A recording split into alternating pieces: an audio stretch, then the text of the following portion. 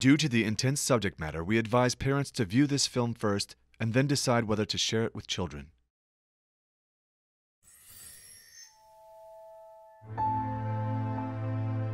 Police were looking for any evidence that can help solve the mystery of what happened to 31 year old Michaela Deemer. To follow breaking developments on the Cleveland West Side. First, exclusive, all new at 6. Kristen Volk is here to share the emotional ride Michaela's family is now on. She was last seen near the Cleveland Metro Park Zoo. 31 year old Michaela Deemer hasn't been seen since August 20th.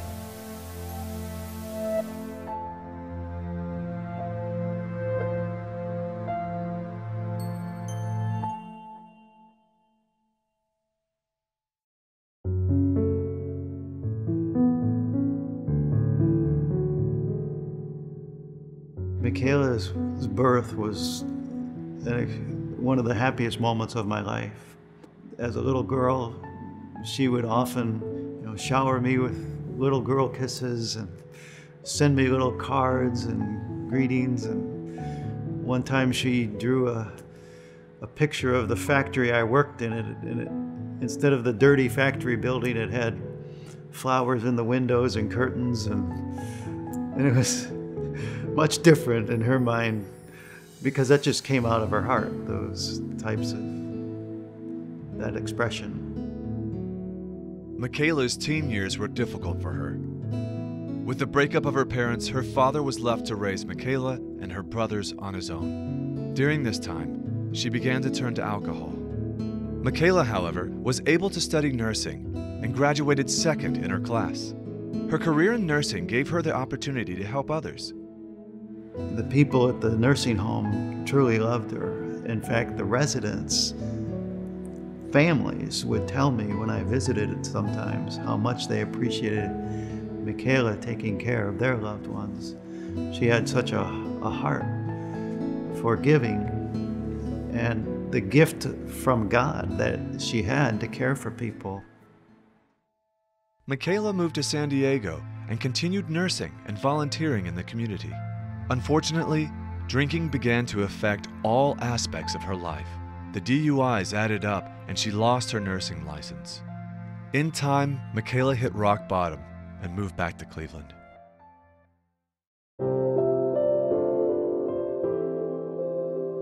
She came back to the Cleveland area where we live, and I began to uh, immediately get involved with her again and, and uh, to, to help her get on her feet.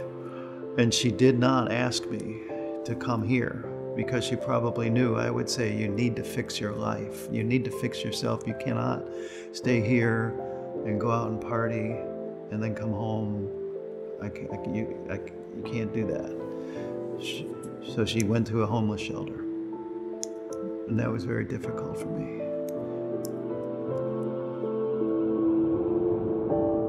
I hugged her goodbye.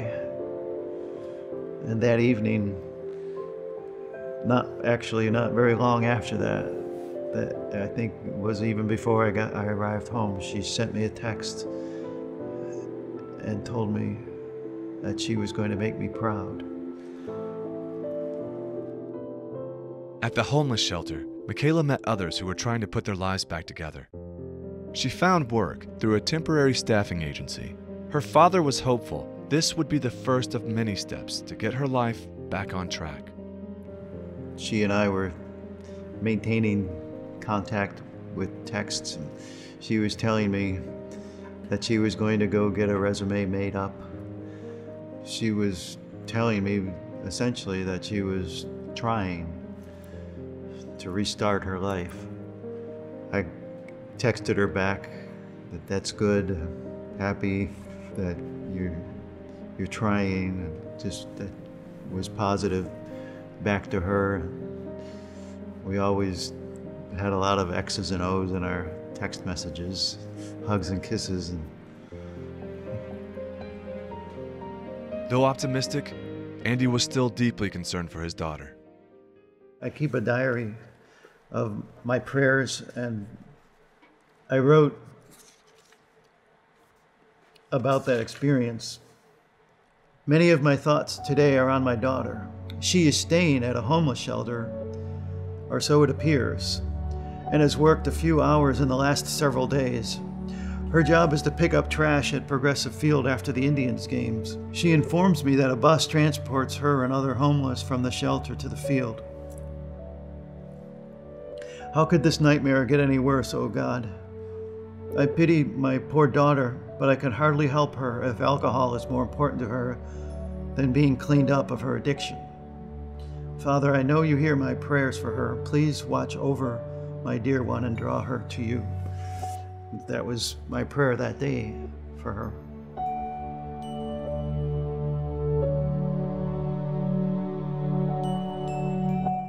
And all of a sudden, nothing.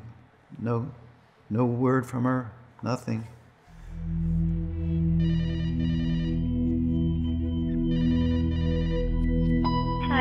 My voicemail. Leave me a message and I'll call you back.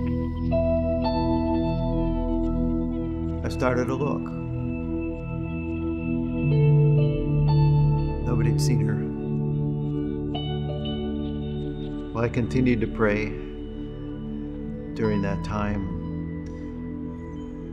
as the realization dawned on all of us that something seriously wrong had happened. Something seriously terrible had happened. And as that realization began to dawn on me, I went to my strength. I went to God on my knees in my thoughts. I went to God to get through that. And the morning that she went missing, I wrote in my diary these words This morning, my thoughts go again to where they have often gone of late. I'm thinking of my daughter. I do not know where she is at the moment, but I pray, O oh Lord, that you are watching over her. Please reach her heart today so that she may turn to you and live. After four long days of silence, Andy reported his daughter missing to the police. He called her friends, drove the streets, and continued searching for his daughter. After two weeks, Michaela's cousin spotted her car, but Michaela wasn't driving it. Her cousin followed the car to the gas station. The driver filled up the car, went in, paid, and then drove off. Finally, a break. The surveillance camera from the gas station could help police identify the man driving Michaela's car. Police viewed the videotapes. After another week and a half, they came up empty. No man, no car. Andy was a determined father. He went to the gas station and asked to review the tapes himself. While reviewing the tapes, they noticed something that explained why the police couldn't find anything. The timestamp on the video was an hour off. Andy immediately searched the tape accounting for the lost hour. And there he was. The car, the man, right there on camera. I didn't know what to think. I did not know why this man on that video was driving my daughter's car. And I asked the police to come immediately to the gas station. They did, along with an FBI agent who was now also assigned to the case. Police were able to identify the man as Michaela's supervisor at the staffing agency. And I think I was holding it together fairly well at that point. But on the drive home, the the weight of this experience overwhelmed me. And I just began to cry out to God, literally in my car that I'm driving, telling God that it has to end. We have to know what happened. God answered that prayer, and things began to progress quickly. Police staked out the business where the man worked and waited for him to arrive. And at about 3:30 a.m. that morning, I received a knock at my door. It was the FBI agent and a Cleveland homicide detective said we found a body which we believe to be your daughter. Police discovered that on the night of August 20th, Michaela's supervisor, Ronald Hillman, had taken her to an abandoned house near his home. It was there a struggle took place.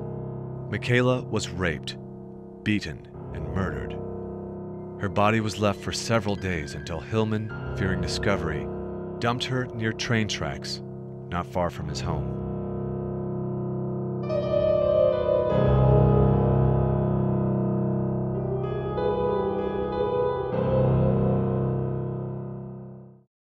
And today we're uncovering the story behind the charges just filed in the death of a missing woman. Ed Gallek was first to report them. He joins us now with what he's learned. Ed.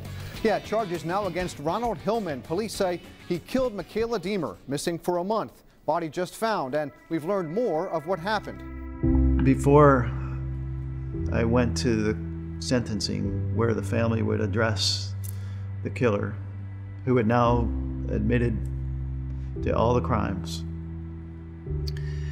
I prayed on my knees, wrote prayers in my diary as I, as I often do, trying to determine what I would say to him.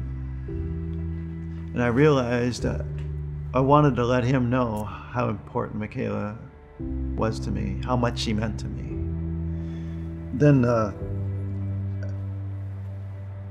I told Mr. Hillman, I'm talking to you very sternly now. But I don't hate you. In fact, I don't have any an ounce of hatred against you. I just feel sorry for you, for what you've become.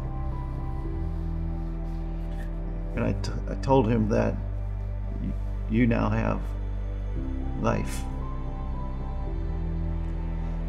And while Michaela doesn't have life, you have time to reform and fix yours. When I told him that, Mr. Hillman sobbed. Here was a broken man.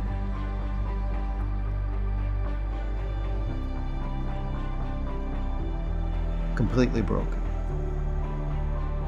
He stood up and he said, At first, I wasn't going to say anything, but I think that would be unfair to both myself and everyone here.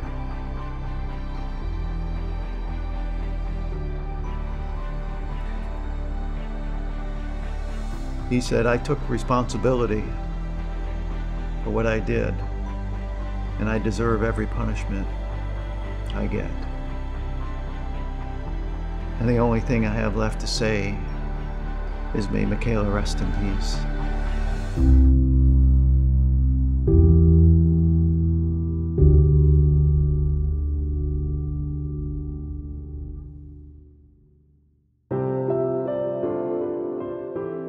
Andy knew where his strength came from that day. He gives all credit to God for getting him through the hearing. I didn't harbor any resentment. I realized it would have done no good. God will judge. By choosing forgiveness, we are doing what God would have us do. Because He sees the potential in everyone. He's made an opportunity for everyone to have eternal life. The burden is too heavy for you to bear a grudge, to bear hatred, to bear resentment. It's too heavy a burden. Let God take care of that. And, and you go on with your life. As I look back now and I see how much his hand was involved, it's It's incredible to see how close God is to us. Even in our darkest hours, how close He is.